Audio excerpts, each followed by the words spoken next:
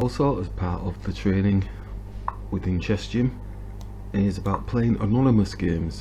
Because like we've mentioned uh, a while ago you don't know who you're playing. There's sometimes some really strong players on here and sometimes some very weak players but you just don't know. Because we get so embroiled in looking at people's ratings that we we assume they're going to play at a certain level. So I really enjoy playing the anonymous games as as well intermixing the times you know three minutes ten minutes that type of thing. So opponents playing real quick so I'm hoping that that's going to be to our benefit that they're not really finding appropriate positions. So let's just go nice and steady here. So these are like training games you know I'm not I don't use these games to play proper games. It's like a training game. So it's a different mentality. Even if I'm playing a 10 minute game I'm still classing them as a training game so they're not proper games. So let's go here. And as usual um, when I mention that they're not proper games they're training games I'll tend to do things not to the complete order of my mantra or anything. I will test out new ideas or different ways of moving. May it might look similar in terms of my movement etc. But the resulting moves and as they're not the better moves. They're quirkier moves just to see what happens in the game see if I can get away with it. If I'm down a piece how can I then try and scramble back from being a down a piece? Um, so it's all those types of things there different sort of scenarios that I try and create for myself so that then at least if it does kick into my proper game I know I can potentially try and attempt to get some balance in there. So time's running down now so we'll just crack on with this game now. So it's speed now. The opponents moved really fast. I'm saying they've not found the better position because they've moved really fast. Now they're taking their time and now they're, they're pacing it. So it looks like their time's going to go lower than ours so yeah that's an interesting maneuver. I'm going to go for a scud missile as well. It's gone for lazy man. He doesn't know what to do.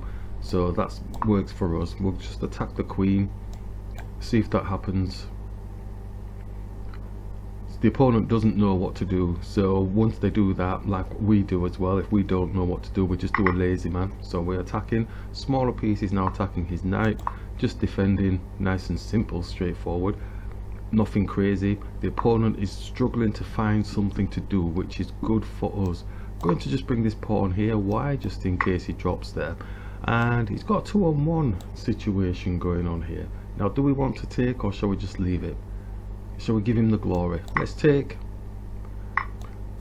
Reason I'm taking is his rook is now owning the file for a moment. But in the grand scheme of things he's looking to come and get this pawn but this knight is protecting this area. So that's quite good for us. So I'm just going to bring my king across a little bit more. He's chomping at the bit to get but how can he get to it? In his visualization he probably saw oh yes I can come and get this pawn but not today. So let's go here.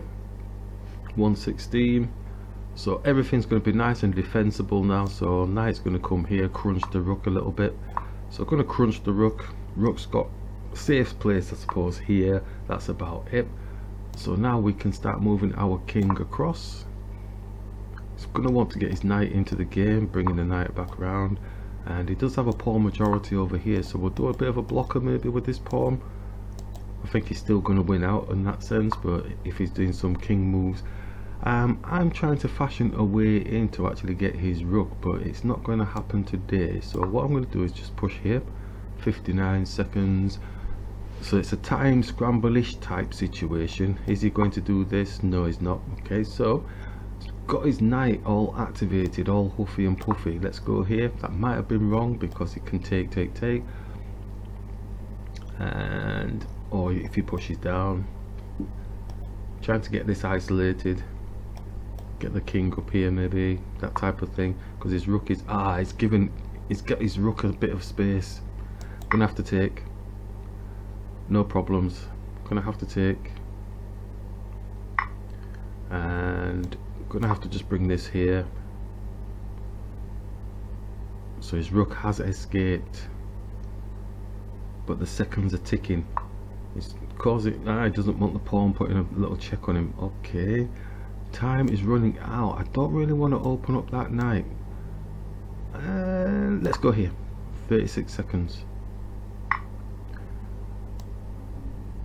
that's not bad but there's no dice I think with 18 seconds. Let's go for the rook like we and it's going for like a little blockader type thing. Let's just go here. Knight can defend yeah okay. Let's bring the rook here. Oh got the little flash thing. 10 seconds pressure's on. I'm surprised this knight didn't come here actually. We can't go there. It's uh, there yeah it's gonna go there isn't it? So we'll come here attack the knight rook. Five four three two one. Oh, it's um, given up. Put a check on something to think about and something to think about again. And yay! Okay so that was an interesting game there under time pressure as well. And realizing you know we'll probably were I don't know shall we have a look at the analysis on that? Let's see because we strangulated their rook for a period of time so it was long enough to actually win a time scramble. So white's winning here at the moment at this beginning stage so we'll push through and as we say we're not looking for anything perfect. We're looking at the knee-jerk reaction moves that get us in the game and the more natural we can be the better it's going to be for us this is to me that's the, the pinnacle of playing these um, blitz type games is that I'm trying to get it as natural as possible without actually having to think too much. And so that's why different things will come in. Uh, the concept won't be used utilized in the best ways until I can really get them as natural as possible so bring the rook through. So the white is winning because they've, they've got more pieces advanced I suppose down the board. The pawns are right down there on the king side. So we're looking to exchange off. They do capture. Gets to be a bit drawish at that stage. Doesn't like that pawn move supporting. I didn't really see any big, big issues with that. And we wanted to block off the bishop. Machine doesn't like that at all because of that aspect there because they had like a three on one in this situation. So let's go back. How could we have avoided that? Let's see. Is it giving us any hints? Uh, so pushing the pawn up loses us tempo. It's basically saying bring the knight back down. Because it's only got a one on it's only got a one on there at the minute. And we'll bring the queen up exchange capture. So it's drawish at this moment but then the problem lies when we do this pawn move. So it should have been this pawn move because he was gonna come here. Okay smallest of details but a very crucial point now because that's where it changed in the game. It gave them the advantage. Excuse me. But like I've always said you can have as many pieces on the board as you want but if the pieces aren't working together or they're not in the right places then you may as well not have any extra pieces. So we capture capture. So he's got a knight in the corner he's got this rook um, which is in the middle of the board but it doesn't really as our mantra says it rooks don't have any place in the center of the board unless it's like to your benefit or you're going to capture something big or you've got a checkmate. But it's showing that they're winning you know probably because they've got a pawn majority on the king side and they've got a pawn majority on the queen side. So they've got two extra pawns. So they should actually be you know winning. So the more we're trying to condense his rook in couldn't really see a, a direct attack towards it but it's not really playing in the game. And that springs back again to you can have as many pieces on the board as you want but if they can't do anything then they're worth nothing really. So in essence here we kind of like suffocated their rook uh, their mainstay so we did capture captured and it gave the rook a little bit of space. And at this point now um, oh look at that. He could have taken the pawn here with a check on the king. I don't think I would have been worried even if they'd taken anyway which they did do yeah. Um, So moving our knight because it was protecting the pawn um, probably wasn't wasn't the best move. And we just wanted to see if we could either attack these or come back around and, and get the rook. I think we did mention this but I don't think we went for it obviously. We didn't go for it. Um, but I wasn't too bothered about the move anyway because their time was down and to me their position wasn't that strong. And it was it's going to take a few moves before they actually get a promotion of sorts. So we bring the rook across. Yeah. So the eval bar look how strong it is for white. To me I'm not seeing it personally especially with the time frame that they've got. Um, but it's probably something to do with these pawns here but it is slaying like lock down the rook I suppose. But they don't have time to be doing that. So we captured captured and obviously they ran out of time there. So when you evaluate your games especially for blitz um, quite a lot of my games look like this. The opponent is actually winning but because their position isn't good they're running out of time. Or I'm getting really good positions and I'm just maintaining a steady position and doing a slow grind for a checkmate or you know they just basically resign. So it is quite nice to be able to do those things but again it's just more for me around about trying to get a natural state out of my long play psychology. This is a five minute training game in the anonymous area. Let's just push through here. So it's a little bit longer than the three minute one. As we said with the blitzy type stuff um, anything under 10 minutes or whatever um, trying to just go for a natural state not overthinking anything just basically just trying to make it as natural as possible. So no overthinking. The moves should just be able to just flow out quite naturally.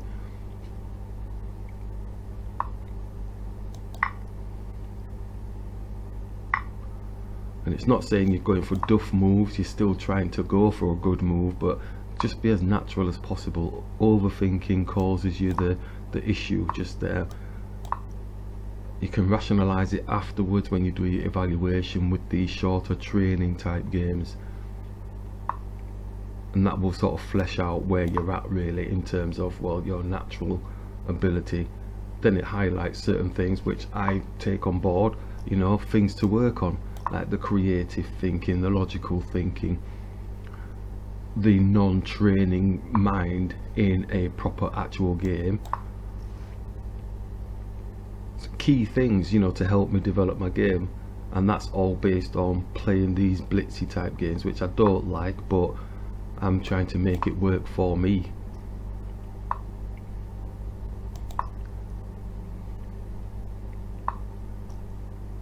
Interesting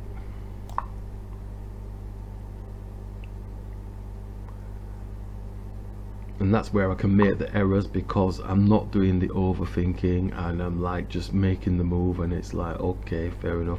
It's got two or more. Oh don't overthink it. I started talking. Don't there's no point. Just do the move. We can see it later. Okay uh,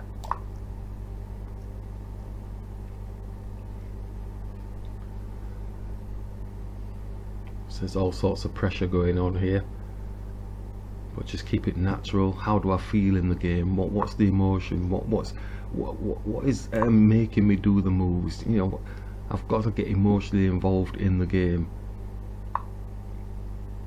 Smooth.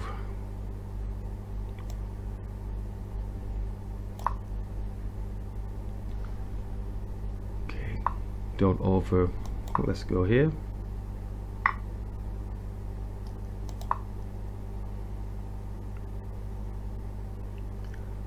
don't overanalyze even if you're taking a bit of a hit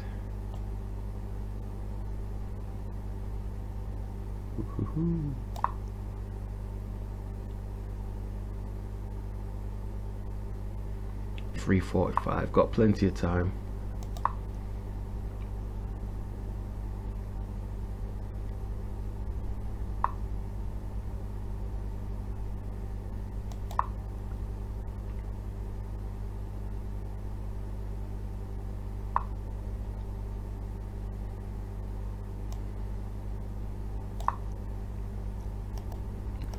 gonna take.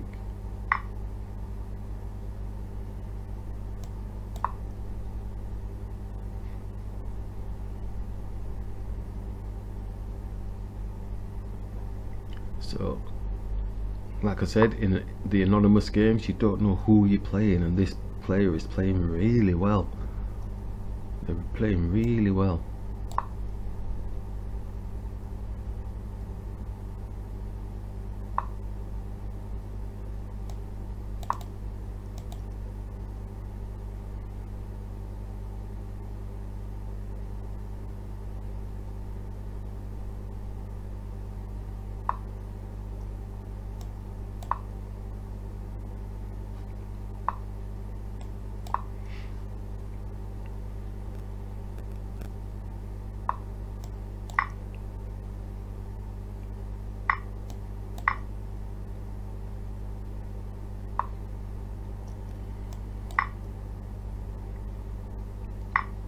just a minor hiccup on that last bit there. That's a shame because they were playing really well. They were wiping stuff off all, all over the place. But I think the position of the pieces they don't they didn't seem to be working together. So we managed to get an advantage here just from that winning tempo from the knight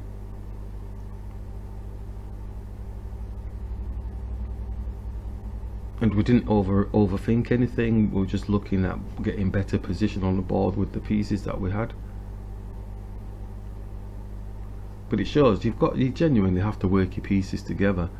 You know single attacks only work for so long. I mean his bishop did a beautiful job come around here taking pawns and then this rook was coming around here doing whatever it was doing. Looked good but they were all individual attacks so it looks like they probably have left the game now.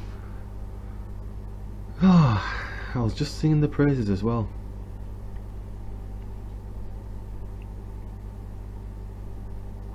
Well okay we'll see if they come back on it doesn't look like they're coming back on okay. So they're probably kicking themselves because they were um, they looked kind of more advantageous up until the knight move let's have a quick look at the analysis on that. Well we know they were because they were pieces up. Yeah let's just um, quick click flick through. Okay so this felt okay just coming here nice and steady. And then right okay. Don't really have any concerns about that but obviously it's not a good move. Captured captured yeah. No issues here at all. I'm not really caring what the um, gauge bar's showing because felt okay. I think where does it go wrong? Uh, it's when the bishop comes down for the pawn but I don't think that gave them a good position even though they got the pawn Okay, so it doesn't like this pawn move here. What did it say? pushing through the center. Did think about that, but I thought, well, you can always just push down, can't I? But hey, I wasn't overthinking, going for a natural state. Doesn't like that natural state move there. And our knight coming backwards doesn't like that one. Yeah. I expect in my blitz games most of the time to for it to be not my friend, you know, the actual evaluation. I'm very shocked when it is my friend most of the some of the time. Okay so he's attacking so oh yeah he's got like a two on one with the um, pot on the pawn there. And it's showing that black is winning. Um, obviously in my head I'm thinking well don't you might take the pawn but what's your position like on the board? Where are your pieces? But at this moment in time I was saying to I was saying yeah they're playing really well so was it just the one pawn that they actually took off then? So then we start bringing our... Oh no, there was an other pawn as well because he's got this position here. Yeah. So that's quite a nice position. They're playing really well. But are their pieces actually working together? So we move this bishop obviously to give space here for the knight. But he's got a rook in the center of the board and I don't really know what that is trying to say? Is the bishop going to take this pawn? What's this rook doing? Not really clear.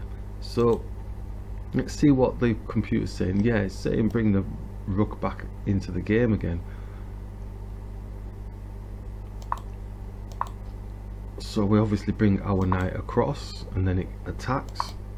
So we can bring our knight across now. So it's basically saying now the rook should take the bishop, just sacrifice itself because it is kind of trapped.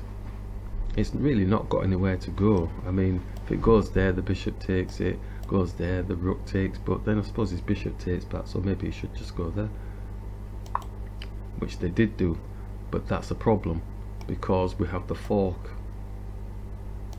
So that rook really caused them the game I think because rooks don't have any place in the center of the board and it went jumping in there and it caused them a problem. So that was quite nice for us and then we've got checks on the king coming all over the place. We've discovered checks on their bishop picking that up for free. So we've got two rooks and a bishop against the rook. Then the opponent sat and waited for ages for the time to run out so uh, yes another training game. That's the five minute training game. So I think you're getting the idea of the type of training that we do within chess gym. And it really is about analyzing your games and also trying to find a state of naturalness uh, within your own game. However you do it you might not want to do fast games to do that. You might just go well no I'll stick with the long games. And that's where it is at learning chess you know learning chess properly and playing chess is with the longer games. Um, so don't be fooled into thinking oh yeah I'm gonna have to play fast. You know like I see the grandmasters or the, the good guys are playing on you know on the YouTubes or the Twitch or whatever and they're playing really quick chess and they're playing bullet and all that sort of stuff and you think wow that looks amazing. Well yeah take it with a pinch of salt. Yeah you're not you're not playing your best best game. When you're playing those fast games you've got to really I think get a good understanding of the the essential fundamental strategies plans ideas etc playing the longer game so that you're then pulling out your best moves. The more thought you can put into finding the right move makes sense the, the better your move's going to be. Up to a point.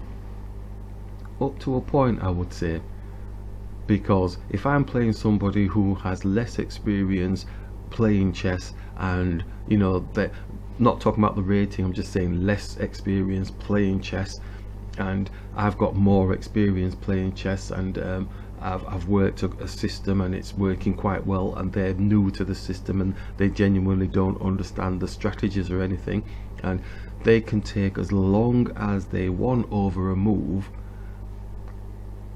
99 times out of 100 that move is not going to be a move that is going to cause me any trouble.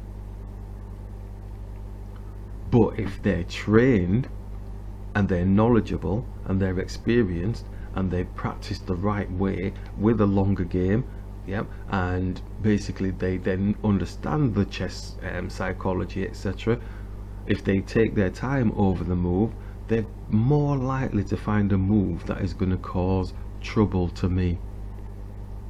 Okay so probably don't get into the aspect of thinking oh well if I'm thinking for a long time I'm actually going to be playing better. No you still have to do all your training to get the understanding of what it is that you're trying to make better and what is better. So you need to know what your best is before you can then make it better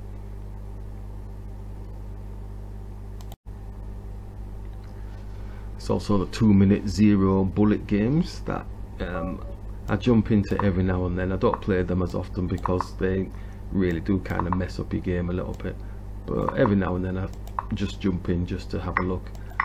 Uh, state of naturalness I'm not too sure about that. It's a case of just throwing pieces out and trying to beat the clock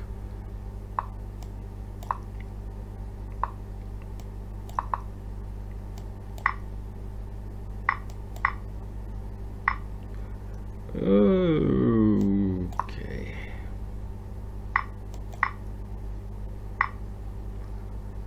just done? She's just taken something of mine.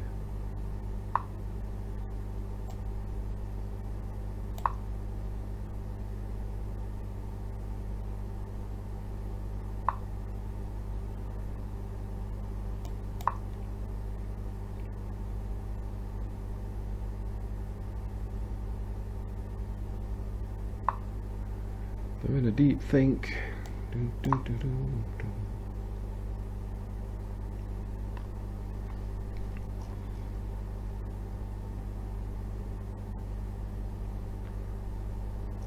of those where um, just going with the basic knee-jerk reaction things. I'm tempted to go there. Obviously, his rook comes down. Do, do. Go with this one rather.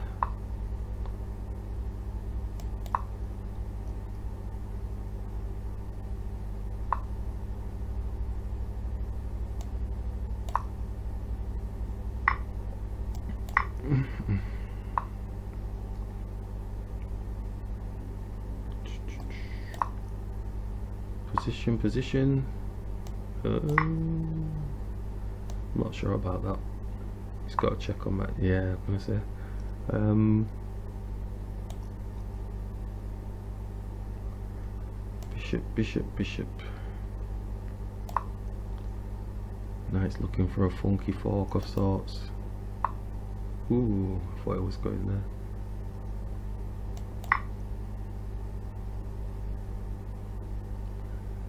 Rook's got me, rook's got me. I could have just taken, no I couldn't. No I couldn't.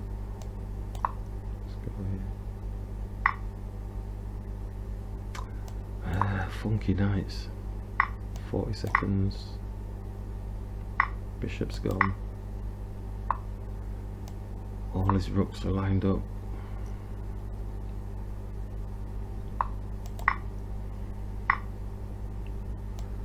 It's not a back ranker. But he gets the pawn, does he? Maybe not.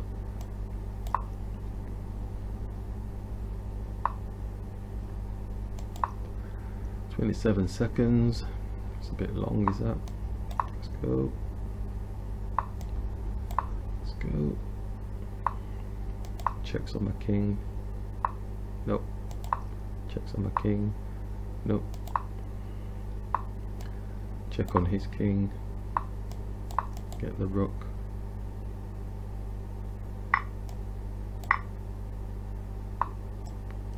Check on his king. Here. Uh, take oh my time's running out. Bam